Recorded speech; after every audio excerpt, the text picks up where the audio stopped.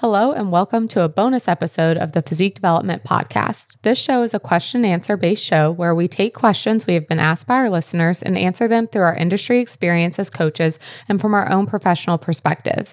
But today we'll be doing things a little bit differently. The podcast is normally the three co owners, Alex, Austin, and Sue, but as a, a company, we have other coaches on staff. Today, I, Coach Sue, am joined by Coach Kortney Weisenfluh. Hello, I'm Kortney. You'll be hearing from Kortney, getting to know who she is, and you'll quickly see why she is on staff with Physique Development. We'll dive into her life, her background, and a topic she has chosen, as we still want this to be an education based podcast that you all, the listener, take something away from, which will be all about body recomposition. This is the first installment as we go through each PD coach, introducing them and telling you a little bit more. In episode four, you heard me talk on the concept that people buy coaches, not coaching, and we want to not only feel connected to our coach, but we also want to know that they are knowledgeable. So without further ado, let's hear from Kortney. Kortney, why don't you tell us a little bit about who you are? Sure. Well, thank you so much for having me here today, Sue. Um, I would say by day, you could call me a corporate businesswoman, quote unquote.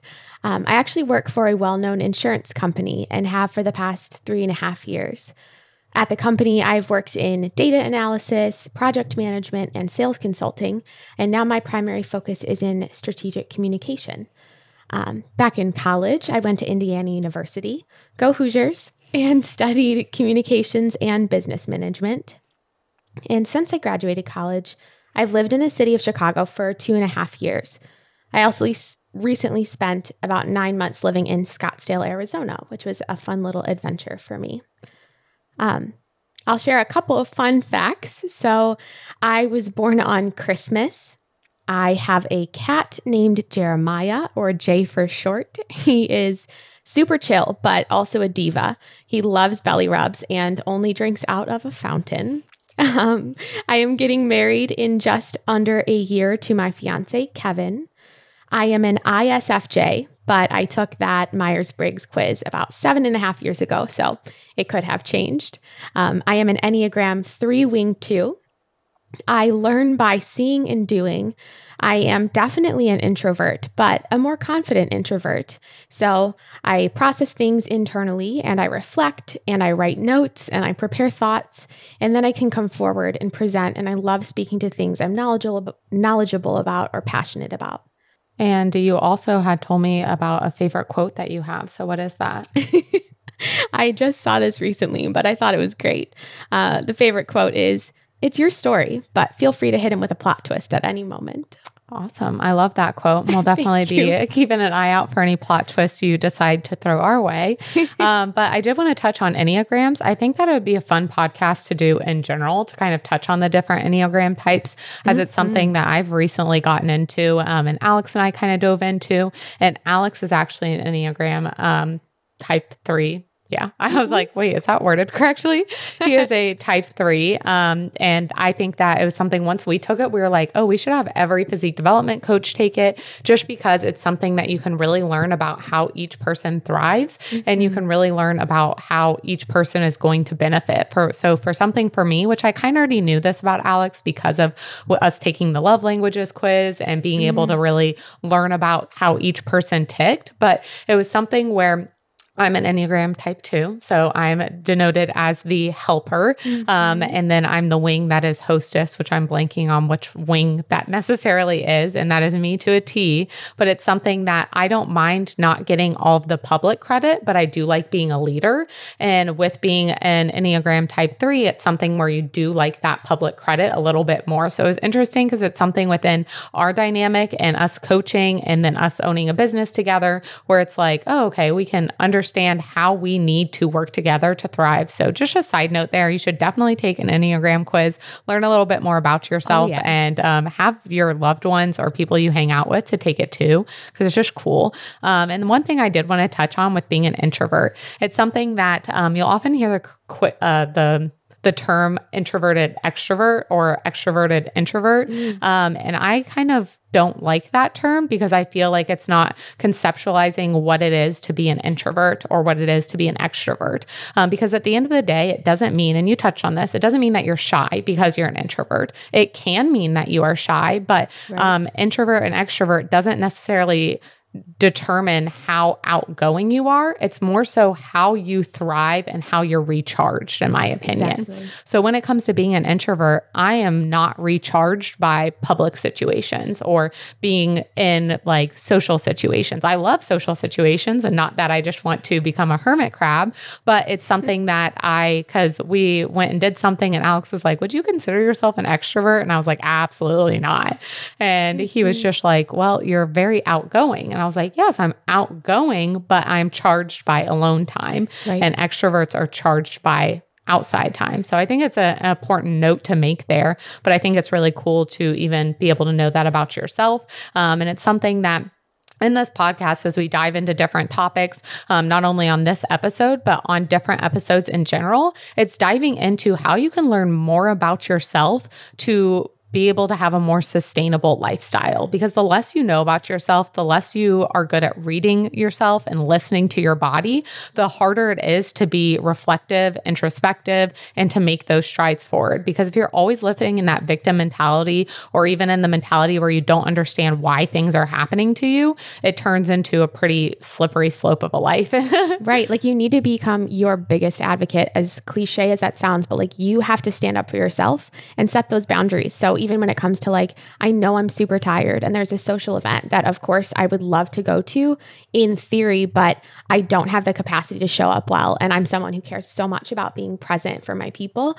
And I've learned the difficult way, to be honest, that like it's more fruitful to take the time to rest or rejuvenate or like have that refresh time, which for me is by myself, um, and then come forward at a later date or a later time where I can actually like maximize the time with that person rather than just being there but not being able to focus or not being able to be like my fun and goofy self because I'm thinking about other priorities or I'm exhausted and just like not very energetic. Yeah, absolutely. So I just wanted to touch on that because I think it's important as coaches, as a staff, that we understand about ourselves. We're able to teach that towards clients and be able to allow them to navigate through these different situations mm-hmm. because they know more about themselves. Right. So from there, let's go ahead and have Kortney. Why don't you tell me about how you got into lifting and fitness and just activity? Sure.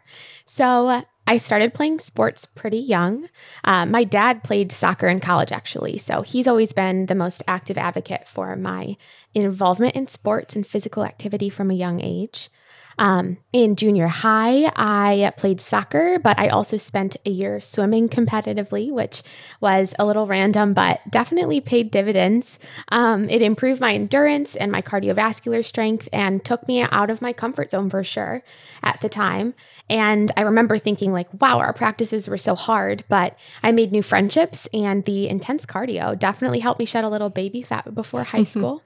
um, in high school, I actually played golf my freshman year, which, uh, again, a bit random, but my dad is great at this sport as well to this day. And I was not great, but I wasn't terrible. um, and I joked to Kevin, who also is not a golfer, that golf may be the one sport I can beat him at. So the verdict is still out, but I cling to that. Um, but I have a, a respect for the game and would love to get back on the course one day have to go to a top golf as a team. Okay. I'm very, very yes. bad. And it's either like hit or miss where I did really good the first time. And each time, um, like Alex tried to record me to show to our friends that are good at golf. I like just whiffed each time. I was so bad, but it's so much fun in that social setting where you can just kind of suck as long as you don't have too bad of a sore loser, which I'm normally the sorest loser. So as long as I don't let myself be that way, then it can be a fun activity. So, oh, yeah. Quick funny story on that note. Um, again, my dad was great at golf and an advocate for me playing golf. And we would go to the driving range as like a freshman in high school. Um, and so I vividly remember I would whiff sometimes or just like have an uneven pivot in my swing. So he would literally stand at a safe distance and hold my ponytail straight so that when I swing back and then swing forward, I wouldn't bob too much or like miss great. the ball. Yeah, I doubt anyone has ever used that method that besides my dad. It helped. um, so yeah, high school, I played soccer, a quick stint of golf. Um, I actually ran track and field for a little bit, which I now know you did as well. Mm-hmm. Um, I ran the 400 and the 800 individually and in relays, and tried my hand at long jump and triple jump for fun as well. And with both track and soccer, I lifted weights here and there.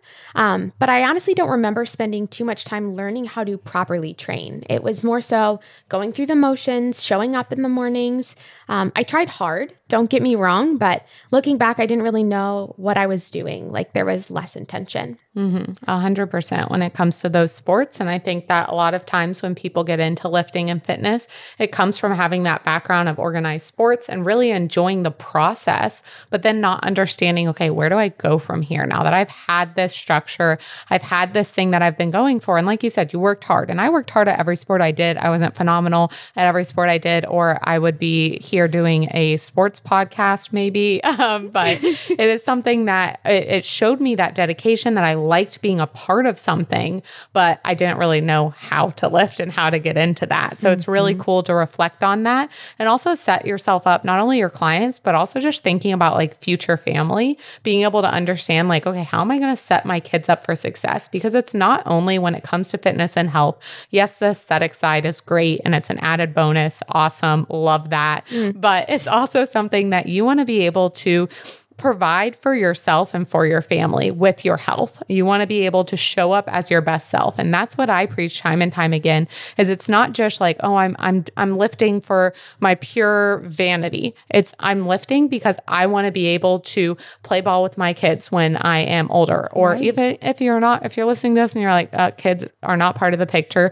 being able to have a fruitful life where you're not held back by illness. And it's something that if you don't focus on your wellness, you will be forced to focus on your illness. So being able to have a family that was so um, supportive and really pushed you to be active, it's something that you can do within your friendships, your relationships, and then a future family down the road yes. um, of being able to have that in place to teach that intention to set up more for success, which I absolutely love. And that's the thing I get like jazzed about when I think about like impacting people, bringing on other coaches, helping clients, helping myself it's being able to like really change the the trajectory of what things look like in the future which right. is a cool thing to think about. You could revol- revolutionize your entire life. Yes. yeah, the way you prioritize your time for yourself and your spouse and your children. I agree. It's amazing. Yes. Um, so you mentioned like how you can really provide for your whole family if you set the right example. And um, I am so, so grateful that my parents encouraged me to try sports and try new things as well. I was never afraid to pick up something new. And I was also never the superstar in one particular area or at my sports, but I was always improving as an athlete and a teammate. And I do think that sports were significant in my mental and physical development over the years. Um, I was never the star on the team, definitely not, but I enjoyed the competition and I enjoyed the physical activity and the way that I felt after the movement. I enjoyed the camaraderie and the friendships that came from being on a team. And I learned how to get along with people who thought differently than me and who worked differently than me. And honestly, people who were much cooler or more popular than I was at the time.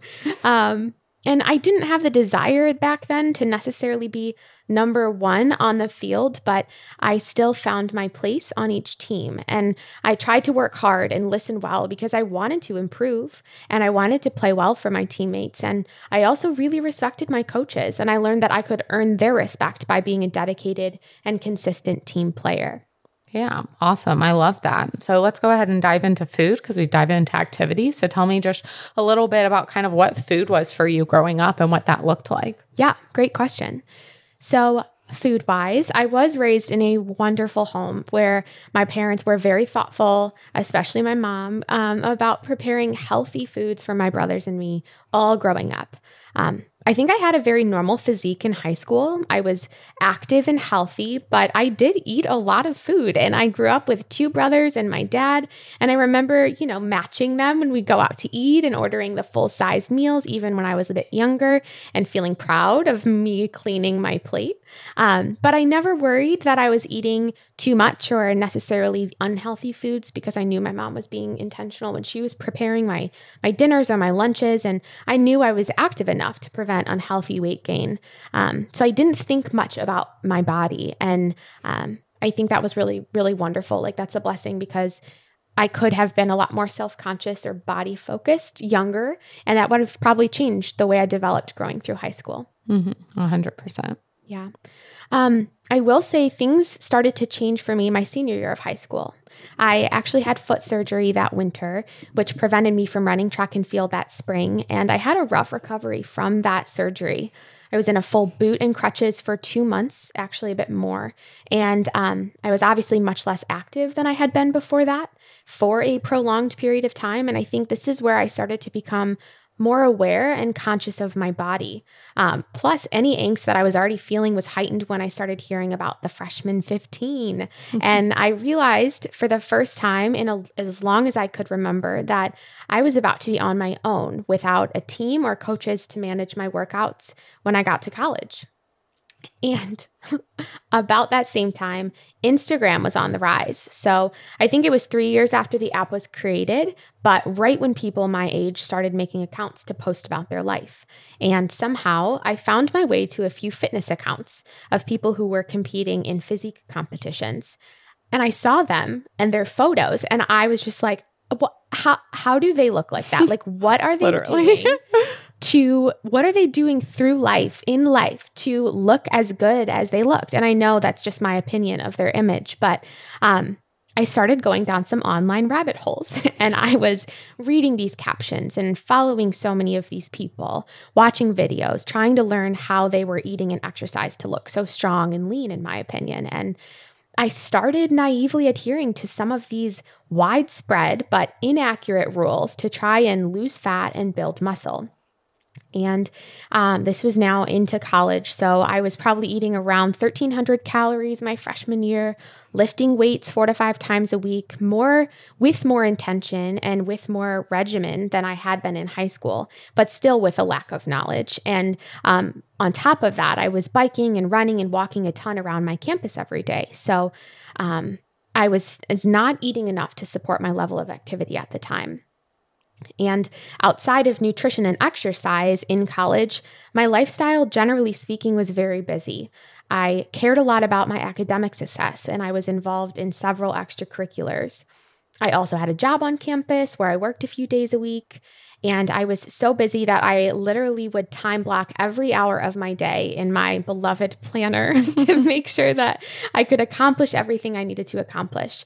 Um, but that being said, I rarely rested. And anyone who lived with me or was a friend of mine at the time could attest to that. And my lifestyle was stressful back then. Like I see that now my freshman year of college, due to all of this change in my lifestyle, I did lose weight, um, actually about 25 pounds, and I became pretty lean. And as a result of the lack of body fat, I actually lost my menstrual cycle. And after that freshman year, I didn't really lose any more weight, but I stayed about the same size and maintained that same go, go, go lifestyle. And these habits carried into my first couple of years after college. I moved from IU to a new apartment in Chicago, but had no existing community or support system in the city. I was acclimating to my first full time job, which also included a three hour round trip commute into the office each day. Um, I started trying to establish new routines with eating and exercise. I joined a choir, which was a favorite hobby of mine at the time. I joined a church. Kevin and I were dating long distance. But again, I wasn't resting. Um, and I was also only sleeping five or six hours a night consistently with my commute for work. So, about two years ago, I realized something needed to change, and I decided to pursue formal education about nutrition and started thinking about what it might look like to hire a coach of my own to learn how to change and support my body and regain my menstrual cycle and improve my physique from the inside out. Yeah, I absolutely love hearing that. And I think that a lot of the listeners could probably relate to a lot of that of just getting into college and being scared where it's just like I have all of this freedom and I have no idea what to do with it. Mm-hmm. And I need to reinvent myself or decide who I want to be for the rest of my life. And then I also am dealing with the fact of wanting to be accepted and wanting to be loved and then wanting to find my place in college. And then also being fearful of being that person who gains the weight in college, which I want to go ahead and make a disclaimer here. It is not a bad thing if you do gain weight in college. So do not Absolutely. think of me saying like being the person who gains weight. I'm just saying from your perspective, I'm sure most of us going into college, it's something of like, oh, I don't want to gain the freshman 15, or I don't want to be the person who gained the freshman 15. But it is not inherently bad to gain weight in college whatsoever. Mm-hmm. Um, and that was the same for me, where I went to college just scared yeah. because I had I had structure all growing up. My parents were very loving and very wonderful, and they still are. I make it sound like they aren't anymore. um, they were wonderful. They are wonderful, but I just never had that type of freedom before, and I didn't know what to do with it. And so I was going going out and drinking and eating a bunch, but I was training consistently. So I was kind of a little bit of the flip up to you mm-hmm. of I was training and I was consistent with that, but the nutrition never matched up with it. And then it literally like flipped a switch where I was like, I don't want to live my life this way anymore. I feel miserable. I look miserable this is not how I want the quality of my life to be anymore. And I was like, I'm not doing this. I, I'm done. I'm finding an answer. And at that time, it was like, Pinterest, everything. And I had screenshots on my phone of like physiques I wanted to look like. And then that's when mm. I started to find, comp- like, I found competitors first before I found like fitness Instagram. I found oh, yeah. com- competition Me Instagram. Too. And I was like, oh my gosh, like you said, what are they doing to look like this? I want to look like this. I am so like I admired their physiques. I admired the way they looked. I admired like the dedication. And I was like, how can I make this happen for myself? Mm-hmm. And that's when I deep dove into how much can I learn about the human body to be able to facilitate this? But one question I want to ask you before we dive into like you finding a coach and you being able to embark on that journey is just kind of are you thankful for that time that you weren't resting to be able to get you to this point now? Um, or was it something where you're just kind of like, oh, I feel like it helped, but I, I could have gone either way? I'm extremely thankful for it. Um, and I wouldn't change the way things happened because to your point, you get to college, and I was 100% on my own, trying to fill the space and the void. And coming from high school, where I was just like very academically focused, but I had my sports and I had like a built in structure and balance because I was in the sports. I had the coaches, I had my family to keep me grounded, I had my friends to keep me social, and then I had the school. It was just like evenly dispersed by the way by the circumstance. Mm-hmm. And I got to college and I, I, didn't know what to do with my time. And um, I think for a while, my identity was wrapped in my academic success and the perception other people had of like how I was as an intellectual and how I was just as like succeeding in life. But I was self critical. Like I was not in the best place mentally. And I was exhausted and just like very depleted in so many ways, trying to like show up perfectly in all these different spheres of life. And and for a while, I just like I didn't know it at the time, but I, I did not have my full zest. I was not fully present in a lot of things for a lot of people. And I will definitely attest that Kevin, after meeting him, which was in my sophomore year of college, was one of the first and wonderful things that helped me like realign and learn that my identity isn't just in like the work that I'm doing. I was always working.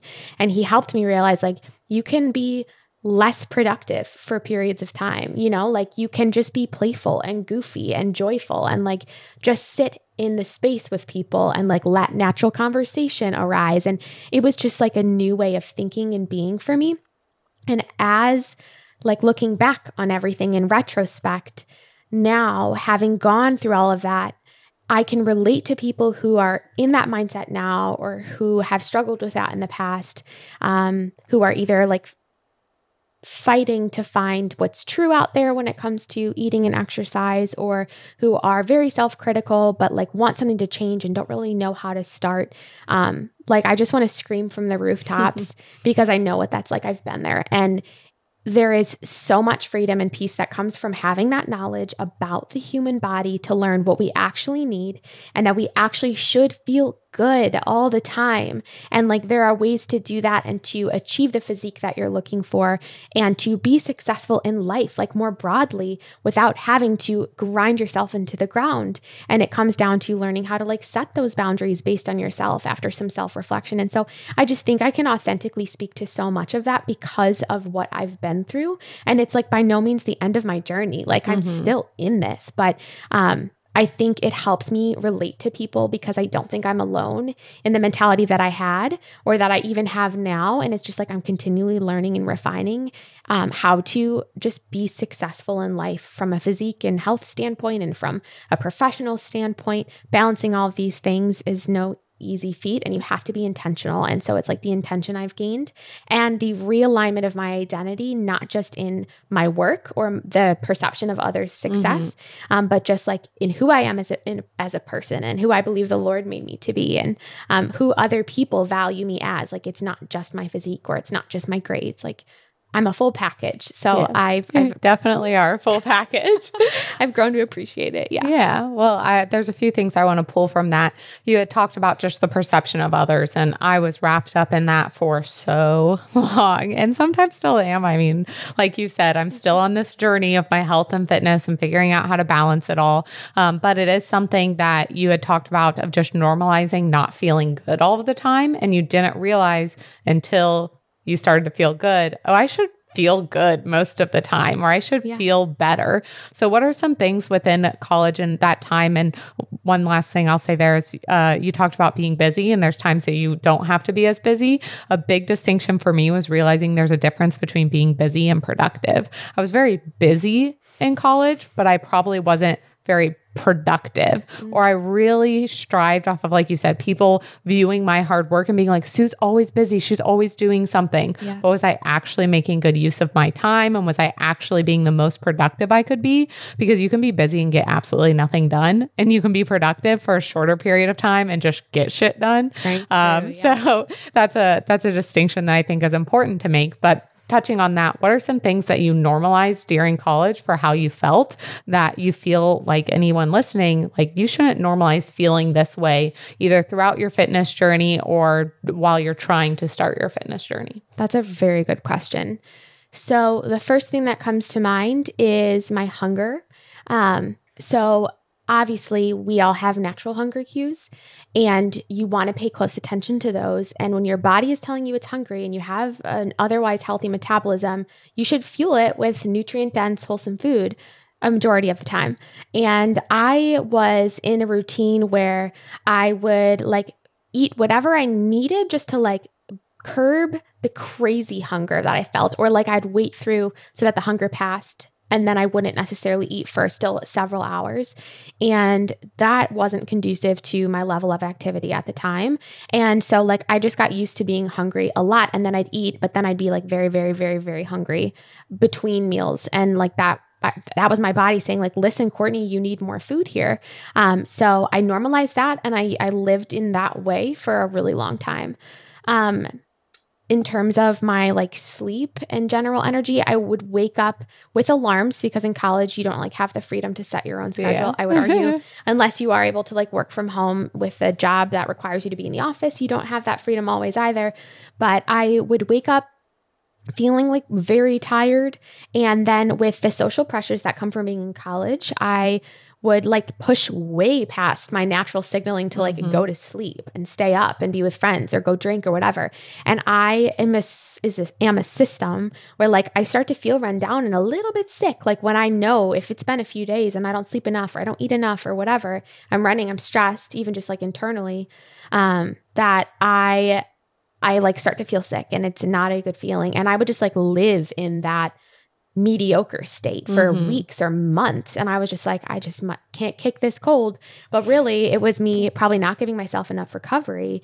And so it's like, it took me some time, but I had to be diligent about being like, okay, I'm going to sleep in this day. And even though I think I'm not being productive, it is more productive for me to like sleep until eight or nine and get eight or nine hours of sleep or not go out, even though like my friends are really pressuring me to go out. Just find another time that I can spend with them. Um, but not where I'm like already poured out, like I have no energy mm-hmm. left. Yeah, I would definitely say in college it was kind of like this energizer bunny situation where I knew I had so much to do that I never allowed myself to be tired because I knew that if I stopped, I wouldn't start back up again. Mm. And so it was something of like just like you said, running yourself into the ground. And I had a crazy schedule in college where I would be on a radio show at 4 a.m. in the morning. And then I would go to my classes and I would have class from like 8 a.m. to like 6 p.m. And then I was on a TV show show um, until like 8 p.m. And then oh I worked gosh. a job until like 10 or midnight, depending on when they needed me. And it was just constant going to the gym at some point during that and also meal prepping and trying to be social and probably drinking way too much. And I just normalized feeling like crap, like complete utter crap, yeah. because I was like, this is how it's supposed to be when you're working hard and when you're grinding. And there yeah. are going to be times in life where you do feel run down and you just need to push through it of course, because it's not that every situation in life calls for being well rested and having hours of you time and being able to do that. That's not really how life works. There's going to be those times of pushing, those times of pulling back, but understanding that that's not a normal to feel that way constantly. And I just wanted to touch on that mm. because I'm sure there are plenty of people listening, whether they're in college or not. I mean, I've had clients that are past college where they just have normalized feeling bad and knowing that on a day to day basis, you shouldn't feel bad. You should feel like a functioning human being and you might not even know what that feels like and that's that's sad to come to that realization. And I had to come to that realization for myself. Mm-hmm. Kortney had to come to that realization.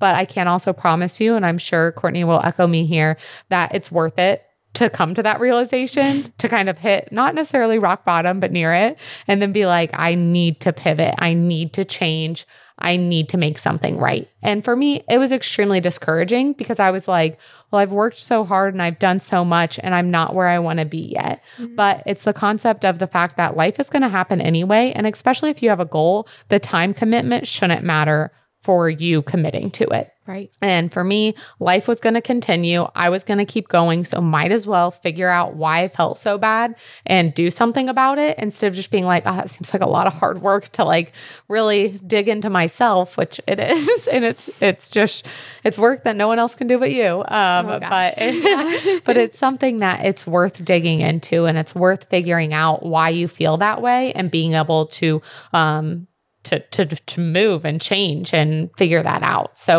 um, mm-hmm. as Kortney said, she uh, a lot changed when she did decide to not only um, devote herself to learning about the body and learning about herself, but also for being able to have someone's hand in that. So, why don't you go ahead and talk through a little bit about how you decided on finding a coach, how you found your coach, and who your coach is for those who don't know, um, and then we'll kind of go into what made you want to become a coach. Sure.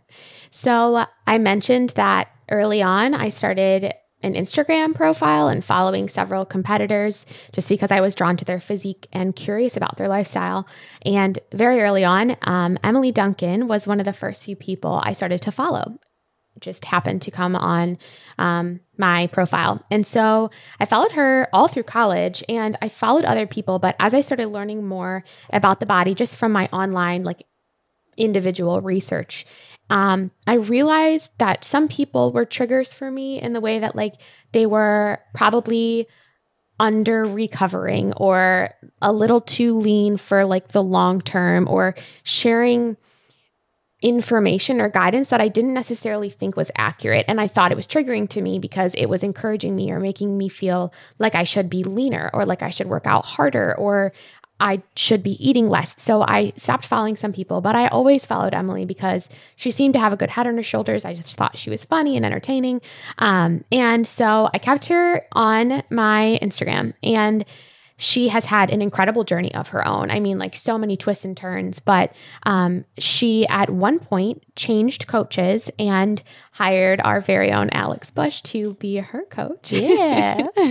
and um, so I just like noticed her posting about that. And I was seeing her physique change quite a bit in great ways. And this was towards the end of my college career into the first couple of years out of college and I like loved the way her physique was changing and I was like she seems to be thriving internally from a health perspective and externally and she would share praise about her new coach. So at one point I just had an epiphany one night and I was like I have so much passion about this. And at this point, I had already decided to pursue my nutrition certificate um, and some other formal education. And I was like, I should have a conversation with a coach and see if this would make sense for my situation. And I was also really working on like my internal health and my hormones. And I thought, you know, maybe this could serve me in so many different facets. So I reached out to Alex and um, we have done a quick phone call and immediately I was very excited based on the feedback he shared and he seemed enthusiastic as well um, and confident in the fact that he could help me in my situation. Um, and so we actually started a formal coach client relationship I think 14 months ago. Um, and I love it. The rest is history. yeah. And actually, Kortney had mentioned earlier that she was in Scottsdale, Arizona for a few months. Um, I think it was about nine months. And when we went in, January, I want to say it was, yes, because I I remember Alex booked it without telling me. And then he was like, Oh, we're going to this seminar in January. And I was like, oh, okay. And he was like, It's in Arizona. I was like, oh, Get me out of the Midwest in January. Sign me up. Heck yeah. and then one of the last days we went to a coffee shop and he was like, Oh, my coach or my coach, my client Kortney is going to stop by and say, Hey, she had a few more questions. And I got to meet you at that point in person for the first time, which was really cool. Um, and it was something that before you and Alex met, he was like, This is someone that I see a lot of potential in. And she's here because she has questions about coaching. But he had said to me, like, I think she'd be a great addition to the PD staff, or like, I think that we can do something with her in the future. And I was just like, Okay, I have no clue who this person is, but sure, like, you're a great judge of character. Um, let, let's do it. Um, and so I met Kortney and I was like, oh, she's super sweet, super nice. And she had her precision nutrition level one finished by that time. And I think possibly level two as well. Um, and then I, we had met and then I started to follow her to like get more of a feel for her. Um, and it's just so cool to see that come full circle now and just be mm-hmm. something that, I mean, nine months ago, it was like, oh, this would be a great fit. And now we here we are um, doing a podcast introducing you as a physique development coach, just because that Alex was right. Um, and Alex, now it's on recorded. Uh, it's a, it's public knowledge that I just said Alex is right. Uh, but on this one thing, I will give him that that praise there. Um, if you do not know, listening to this, Alex and I are husband and wife, and so we we joke often back and forth about who who's right or who's always right. Uh, so it, it's been fantastic to see Kortney grow within her confidence for herself, her confidence within coaching, and now to be able to bring her on as part of a physique development the physique development staff. So, with that, um, I want to ask you just kind of why you wanted to become a coach after you had dived into fitness and decided to pursue that formal education? Mm-hmm. What was the difference of you being like, oh, I'm just going to keep this for myself and keep going after it myself? Or why was it the fact of, no, I want to help people with this? Yeah. Well, Thank you very much, by the way. Yeah. I obviously it is a privilege to join the physique development team. Um, there's so much goodness to come, and it's already been a, an amazing ride so far. So uh, grateful that Alex saw some potential, but just so so honored to meet you and the whole team, and to finally be joining as a as a formal member. Yeah. Um, so, speaking from experience, I think what most people will find is that with a knowledgeable coach, changing your physique or improving your health is less difficult than you might initially perceive it to be, meaning it does not involve crazy drastic measures or have to be suffering for anyone at any point in time. Um, and if you do things intelligently and methodically and you respect your body by prioritizing your internal health the whole time, you will see results while you're still able to rock and roll through life. Um, the important part is it just might take a little bit longer than you initially thought it would. And now, to be clear, if you want to change your physique and you hire a good coach, you should anticipate changes to your day to day routine. And these changes are usually related to the way you prioritize your time and allocate your energy, kind of like we were already speaking to.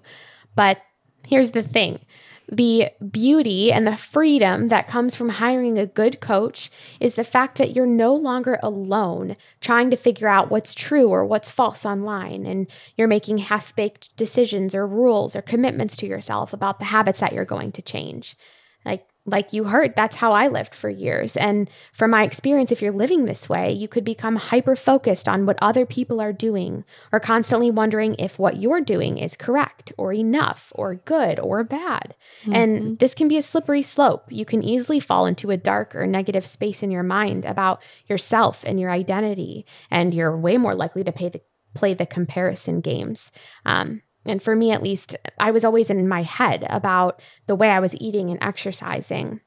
And I would berate myself. And most days were bad days because I would wake up like in the negative with these lofty boxes I wanted to check during my very busy day. And I wouldn't, it wouldn't become a good day unless I checked the boxes and hit my macros and went to the gym and did everything I needed to do. So most of the time, I was feeling either stressed because I wanted to check all the boxes and I was afraid of messing up, or I was feeling guilty because I would come to the end of my day having quote unquote failed at one of these things.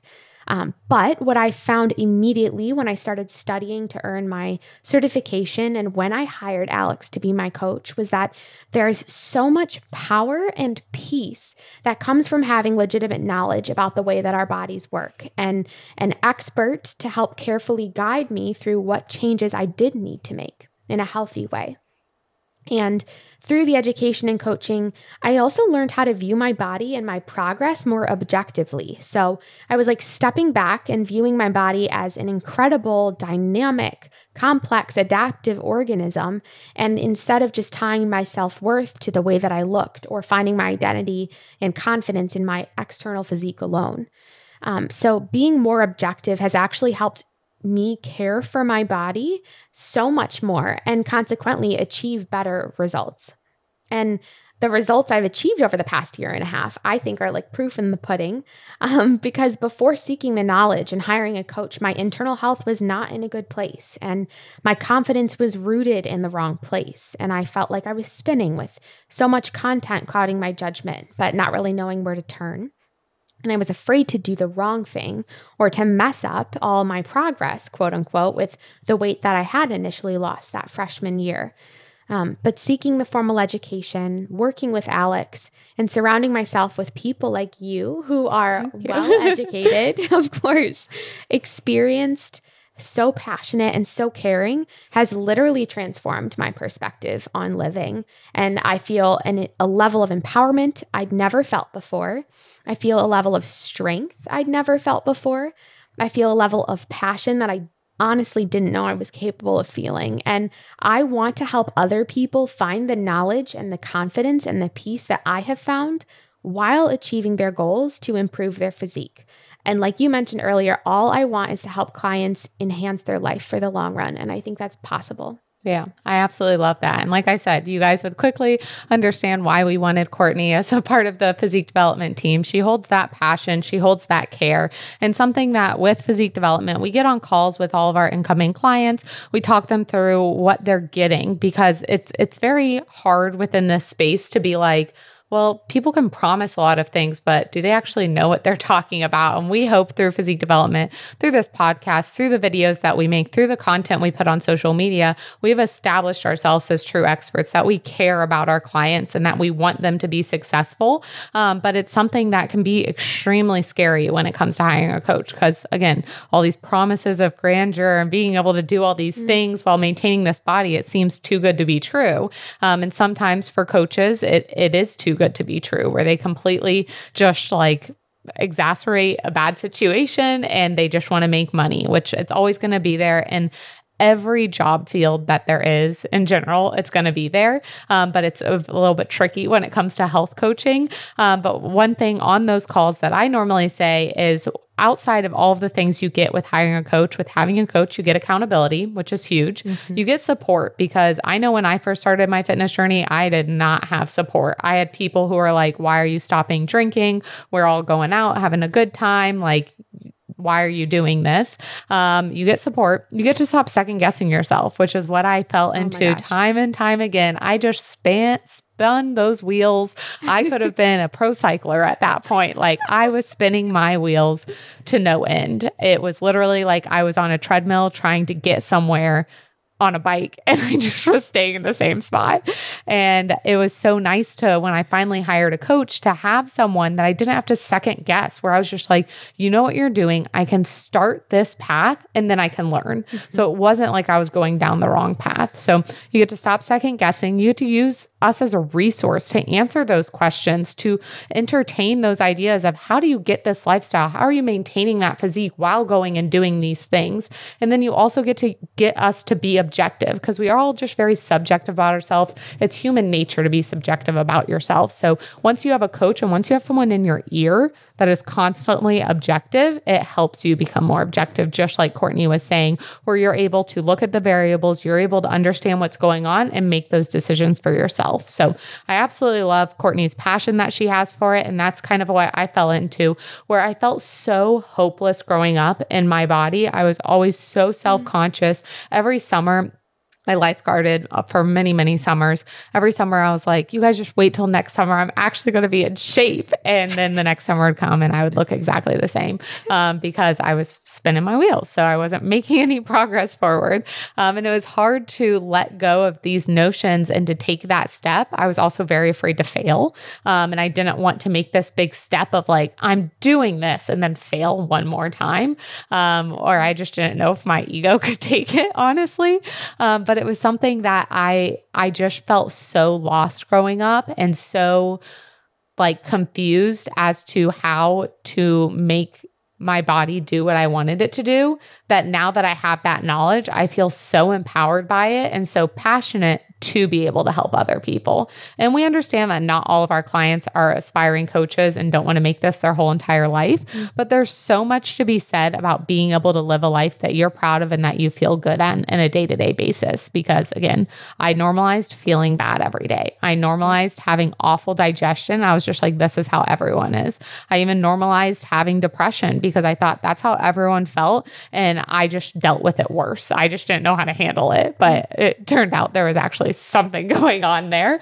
Um, but it's something that is very easy to normalize. It's easy to get into those, those habits. It's easy to fall into that, but it's much harder to take the step towards health. Um, and something else within health that I always like to make a note of, and I believe I've already said it in a PD podcast, but when it comes to the five leading causes of death in America, all of them have a diet related aspect. And it's something that we should be looking at how to move our bodies and how to fuel ourselves to be able to show up, like we talked about earlier, for ourselves, for our loved ones, for our significant others, for our future family, for your job. You can only show up. And if you're into Enneagrams, you want to show up as your healthy self or all those good quality traits that you read about for your Enneagram where you're like, man, I'm the shit. um, they're not the case if you're unhealthy. And by unhealthy, that can mean an uh, unhealthy mind, an unhealthy perception, an unhealthy body. It can mean a lot of things or having too much stress on your plate. So, just a little side tangent there because I am so passionate about it. And I know Kortney is as well. Mm-hmm. Um, so, we'll go ahead and dive into the topic that she wanted to talk on here because, like I said, we do want this to be educational. We do want you guys to be be able to take away nuggets from this, be able to apply it from your life and really move forward. So, Kortney really wanted to talk on client our body recomposition, which I think is a very misunderstood topic where it's just kind of like, oh, do I want to gain muscle, lose fat, or do both? Well, I want to do both, of course. But um, yeah, I wish we could all do it at the same time. That would be phenomenal. Um, but being able to kind of dive into how you approach those different situations to be able to see that success for clients. Sure. So, just to say before I really dive in, as a coach, I know you do this and you, Alex does this, Austin, everyone. Um, we learn all about the client. So, their background, your lifestyle, your history with food and exercise, your genetics, all the successes you've had, and the places you want to improve. Um, we learn all about the things in their life that are naturally supporting their goals, and then the things in life that could be limiting factors. And then, with all of this background info, we make a plan. We set them up for success by leaning into the existing strengths.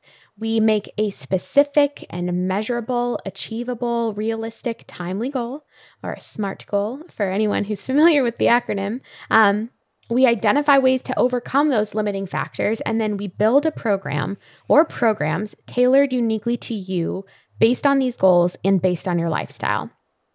Now, the key to beginning a program with a coach is to start with small actions that align with your goals that you are incredibly confident that you can adhere to.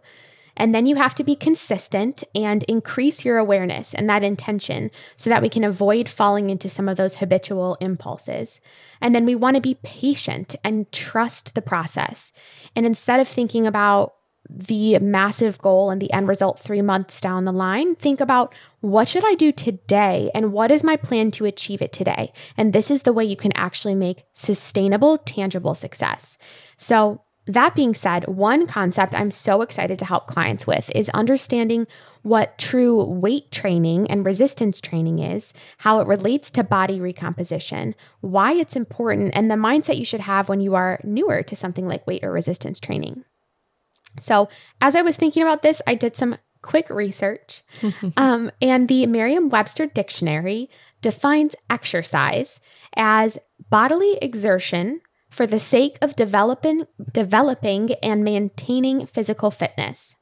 So then I looked up fitness or the state of being fit, and that is defined as adapted to the environment so as capable of surviving or sound physically and mentally. So when you think about the definitions of exercise and fitness, these are obviously two extremely vague, broad definitions. And there are literally hundreds of ways that you can work out to quote unquote exert energy and make sure that you stay physically and mentally sound and capable of survival. And there are many people out there who work out simply to burn calories and keep their internal health in good condition and to survive and have like a life filled with longevity and generally quality health. So, this is fantastic. Don't get me wrong. But I wanted to take these few moments to dis- distinguish how resistance training is unique and how the benefits of resistance training extend far beyond someone whose goal is just to build muscle, because I think that's a pretty common misconception as well. So, when you think of somebody who looks lean or toned or muscular or strong, um, you need to know that they have not achieved this physique just from dieting or doing lots of cardio. They have achieved this look by building muscle over the course of time and then losing some of the fat that lies on top of the muscle to look more lean. This is the process that's commonly referred to as body recomposition. Um, and so I'll take a couple minutes and just dive into this a bit deeper. So, the first thing you should know is that muscle growth is also referred to as muscle hypertrophy.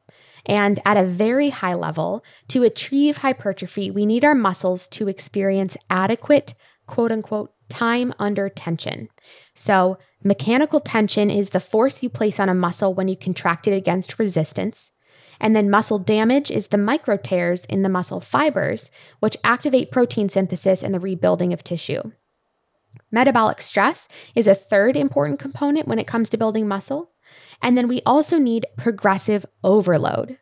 And you can overload a muscle in a few different ways. You can increase the weight that you're using over time. You can increase your volume, so the sets or reps you complete over time. You can increase your range of motion when you execute a specific movement.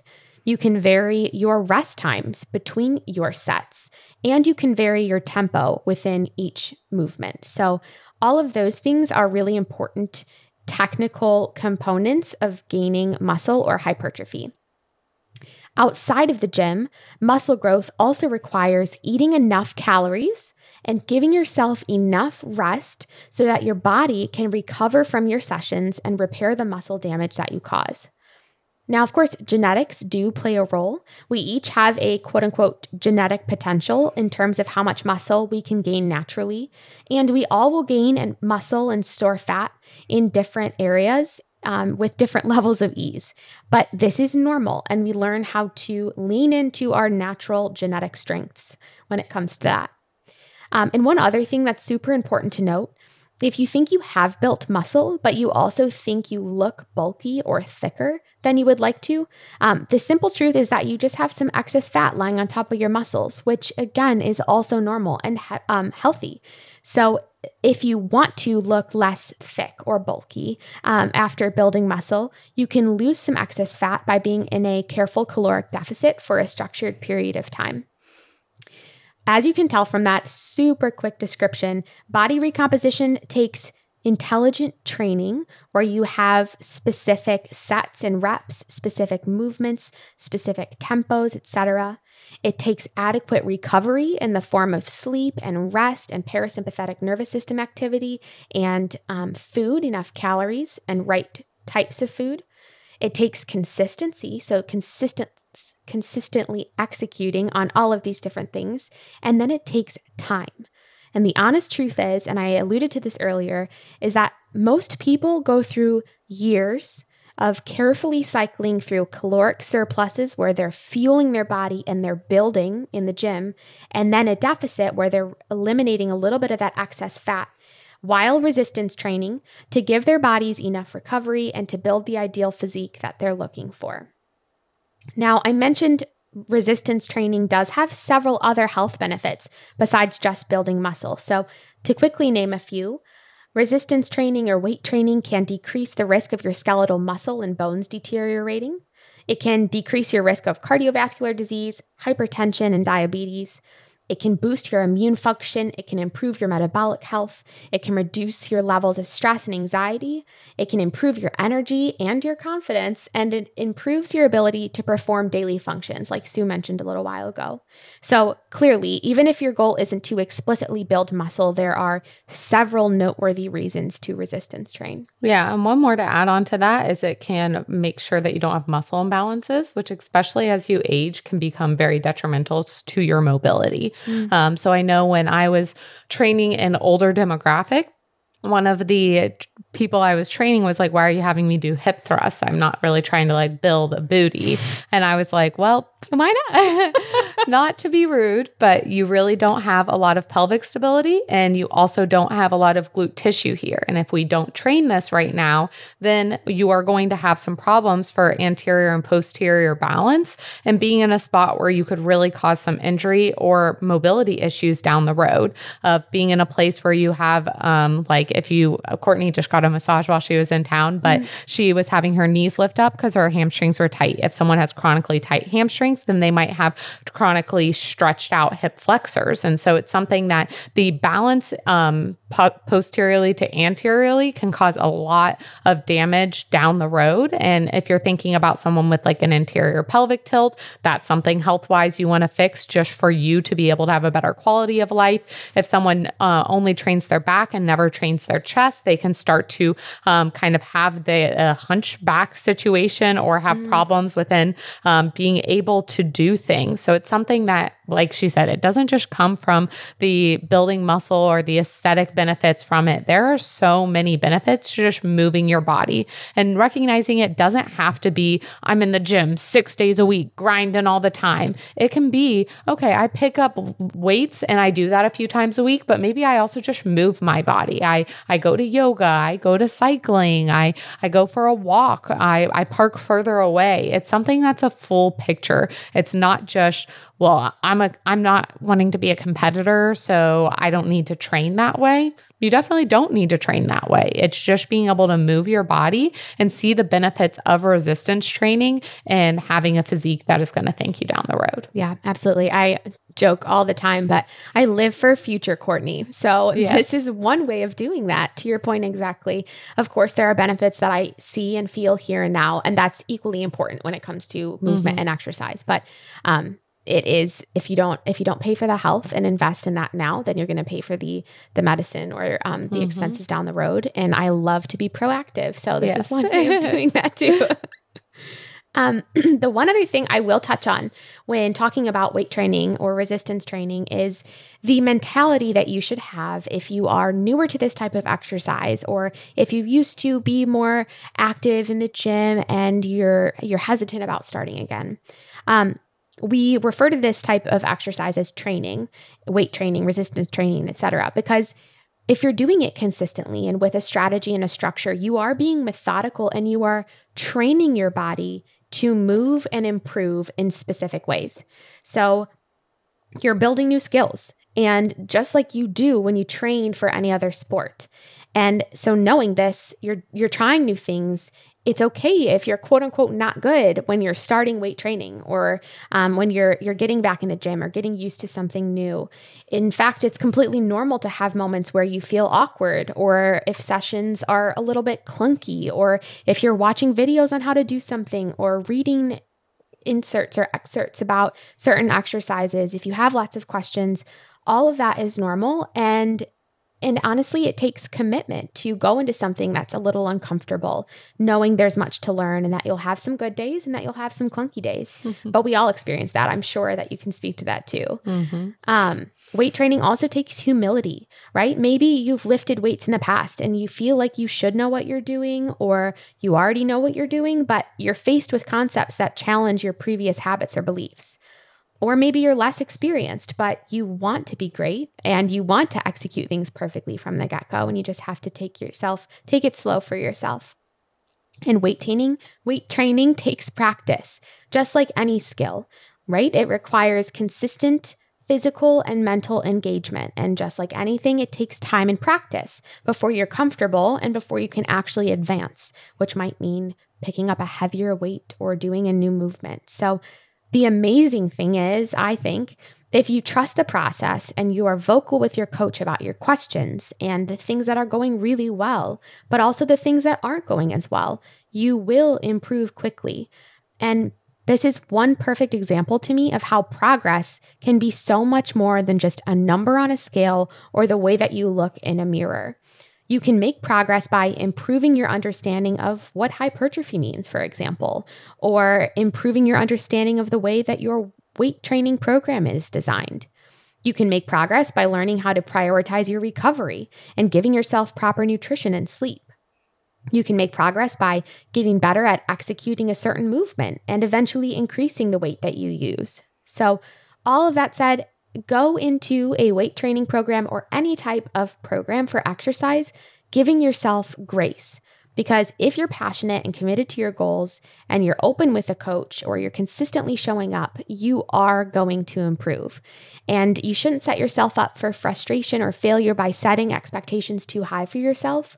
Know yourself, be realistic, be honest, and give yourself grace. Set yourself up for success by starting small and keeping an open mind and communicating honestly with whoever's helping you. Yes, I absolutely love that. And if you go back to episode four, you can listen more on how to focus on form when starting out. And then episode two to hear about how to gauge progress along the way. It's something that we touched on in episode four. And then I know that I've had conversations past that episode of just touching on the fact that when it comes to working out, I feel like a lot of people inherently just expect themselves to be good right off the bat.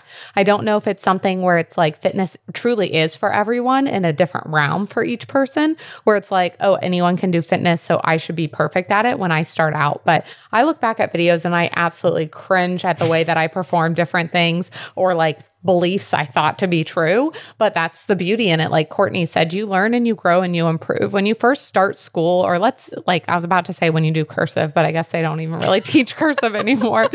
Um, but when it comes to school, when you start in your major, when you first go to that first class, you're not expected and you don't expect out of yourself to be the top in your field. It's the same thing with fitness. You don't walk into the gym and should expect yourself to be perfect. Give yourself grace, figure out what those goals are, and be able to grow and mend yourself towards that. And I love that Kortney even brought up um, maybe a past belief as being challenged. And that's been something really cool with my dad, where he was a D1 college athlete, he was a swimmer, but he's taken time throughout me becoming a personal trainer. And Alex and I, um, ha- having physique development with Austin and being able to have conversations of like, oh, I thought this was true, but I guess that's not. And him taking that time to learn and uh, like evolve and become a more healthy version of himself. And selfishly, I want that because I want my dad to live forever. But yeah. um, it's something that it, it's you should give yourself grace and you should realize that it's going to take time not only to achieve your goals, but it's going to take time to get better at what you're doing. And when it comes to time, yes, that becomes very overwhelming. But like I said, the time's going to pass anyway. So might as well spend that time doing something productive towards your goals. Mm-hmm. Uh, but it's also something that for me, when I first started going in fitness, people ask me, like when they see my transformations, like, what have you done since then to achieve this? And it's like my work ethic and what I've been doing hasn't really changed. My body just needed time to gain the muscle, to lose the fat, to learn about my body, to learn different processes, to care about myself more, to make those changes. Mm-hmm. So it's something that with physique development, we will never try to bamboozle you with being like, quick fix, here you go, here's a transformation. Um, we try to be very upfront. It's going to take time, but it's going to be freaking worth it. Oh, yeah. Um, and we're, we're here to change lives and we're here to impact people and improve people's health and wellness. So um, thank you so much, uh, Kortney, for being on. Um, we look forward to clients being able to interact and work with you. If you are interested in working with Cl- Kortney or any of the PD coaches, we'll leave the inquiry link in the show notes. But before we sign off, why don't you go ahead and tell us where people can find you on social media? Sure. So I um, can be found at kortney.naturallymade um, on Instagram or Kortney Weisenfluh, K O R T N E Y W E I S E N F L U H. Um, and I am getting married soon, so that will likely be changing. Uh, so keep your ears and eyes open. I will definitely post a new handle when the time comes. Yes. Uh, so that'll be in the show notes as well, so you can easily get to it. And if she does change her name and her handle, and you are listening to this maybe a year or two down the road, and you're like, that's not in the show notes, Sue, um, you can go to the physique development website, and I'm sure that will be updated for you to be able to get that. But the inquiry link should still work and you should still be able to select which coach you prefer or if you have no preference. So thank you again, Kortney. It was so great having you on. Um, hopefully, listeners were able to not only take away something, but also be able to learn about you a little bit and learn about what makes you great as a coach and what we saw in you in physique development and why you wanted, why we wanted you um, a part of the staff. So thanks so much for having me. It was a yeah. pleasure.